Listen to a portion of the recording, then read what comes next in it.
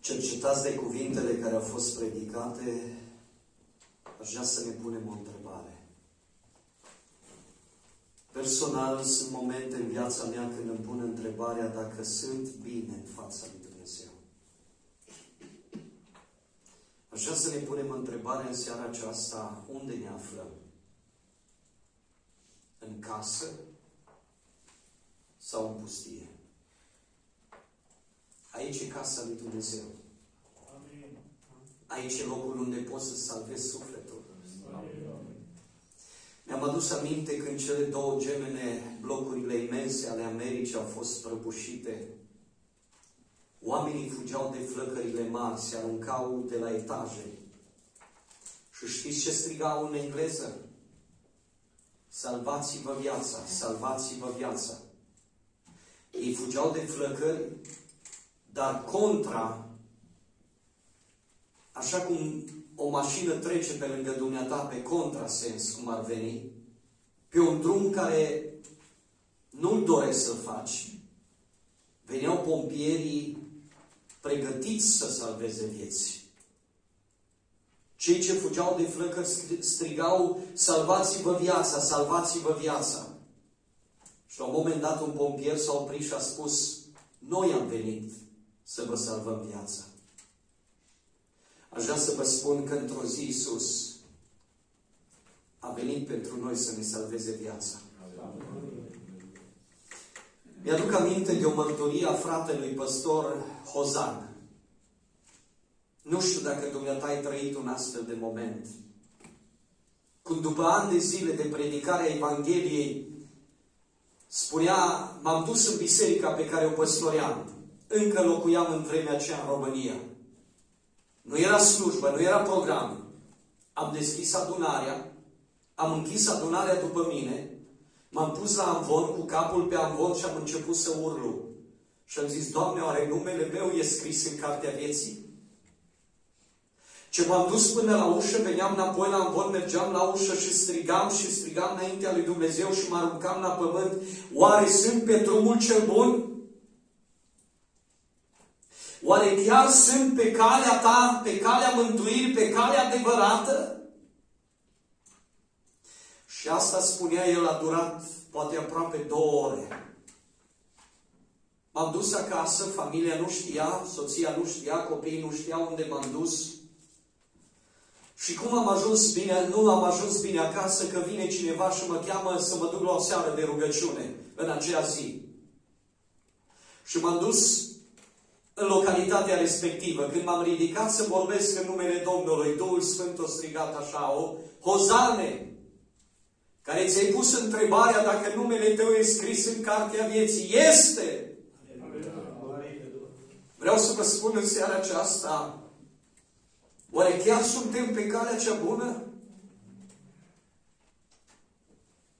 Știți că șoapta aceea l-a dus pe Ilie până în punctul în care a zis, la ce să mai trăiesc? Mai bine să mor! După atâtea lucrări extraordinare pe care le-a făcut Dumnezeu cu el. Vreau să vă spun că, în primul rând, Dumnezeu ne-a oferit viața veșnică. Pentru asta merită în seara aceasta să-i mulțumim că ne-a oferit viața veșnică. Pentru asta merită să ne rugăm înaintea Lui să spunem, Doamne, ce ai făcut Tu pentru noi nu a făcut nimeni, Doamne. Îți mulțumim. Îți mulțumim că ne-ai salvat viața nouă și caselor noastre. Îți mulțumim că te-ai îndurat de noi. Îți mulțumim că încă o dată ne vorbești despre dragostea Ta. Că Tu nu renunți la noi și nu ne abandonezi. Vreau să intrăm într-o rugăciune.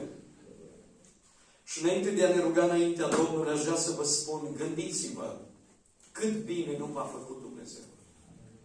De câte ori nu vă proteja Domnul când v-ați dus și ne-am dus în pădure să muncim? Când am urcat pe tractor și când am urcat în mașină și când mi-am dus și am venit. Și v-ați dus copiii la școală și au venit de multe ori singuri acasă. Și Dumnezeu i-a păzit și i-a protejat.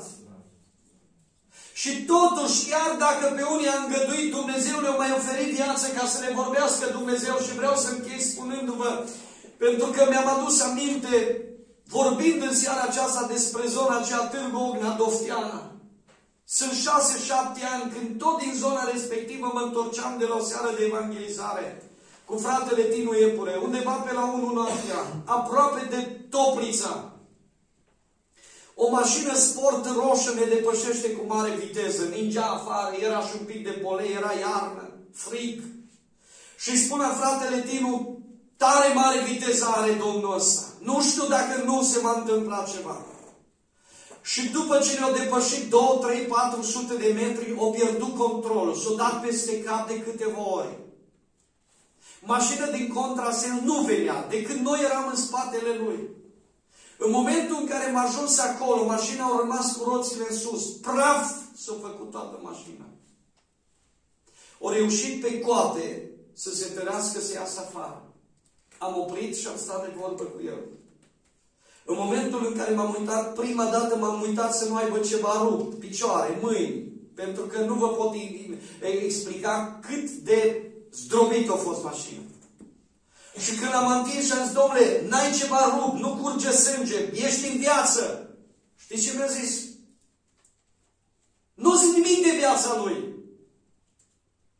O zis, pentru mașina asta am lucrat în Irlanda și mi-am lăsat familia doi ani de zile. M-am dus special să muncesc și am adunat 12.000 de lire. În Anglia, pardon. Și am venit și mi-am cumpărat mașina asta și uită, uită ce necaz. Și în momentele acelea vreau să vă spun că i-am zis următoarele cuvinte. Dumnezeu ți-a salvat viața.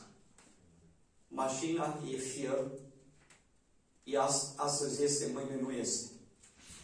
Dumnezeu ți-a salvat viața și a îngăduit ca accidentul ăsta să-l ai în fața noastră, ca noi să putem fi primii care să oprim aici, să spunem că Isus te iubește. Isus ne îngăduie de multe ori prin anumite situații ale vieții și nu le înțelegem. Dar Isus îți spune în seara asta, te iubesc, nu te las singur, nu te părăsesc. Știu cu ce te confrunți, te știu pe nume, îți știu viața. Haideți să ne ridicăm înaintea lui Dumnezeu și să ne rugăm înaintea Domnului în această seară. Am avut o experiență deosebită aseară după ce am predicat la evangelizare. Ieri am fost la o mormântare la amiază în Dumbrăveni, o soră și un frate. Două sicrie în adunare. Două mormântări odată. Și aseară am rămas la evangelizare într-o biserică și după ce am predicat, Dumnezeu mi-a arătat este o persoană pentru care trebuie să ne rugăm în mod special. Și am terminat predica și am intrat în rugăciune și era o luptă în inima mea și în mintea mea să-i spun la fratele conducător să nu-i spun, să-i spun, să nu-i spun. Și în timp ce ne rugam, el se apropie de mine și îmi șoptește la ureche. Zice, acolo la mijloc este o tânără foarte bolnavă. Tu te roagă-te pentru ea. Exact ceea ce mi-a arătat Dumnezeu. Și am zis, dacă Dumnezeu v-a dat îndemnul ăsta, vreau să vă spun că mie mi-a spus Domnul că trebuie să mă rog pentru cineva. Chemați-o în față. Aș vrea să spun în seara aceasta, nu știu dacă vei ieși în față sau nu, dar acolo unde ești, dacă ai nevoie de rugăciune, în timpul rugăciunii poți să ridici o mână. Slavă! Pentru că mâna ta se vede în această seară și Dumnezeu se poate atinge. Cea mai mare bucurie pentru noi a fost că după ce a plecat din adunare, acea tânără era cu zâmbet pe buze, cu nădejdea că Dumnezeu s-a atins de ea. Tot timpul era supărată, tot timpul era frământată de suferința ei. Dar Dumnezeu este Cel ce poate să vindece sufletul Amen. și să vindece trupul. Amen. Crezi asta? Amen. Crezi asta? Ai nevoie? Amen. Poți să ridici o mână. Mâna dumneata se vede în seara aceasta. Pentru că Domnul e prezent aici. Nu te abandonează Domnul și Îngerul te trezește și spune ca lui Ilie, mănâncă Ilie! Haideți să ne rugăm!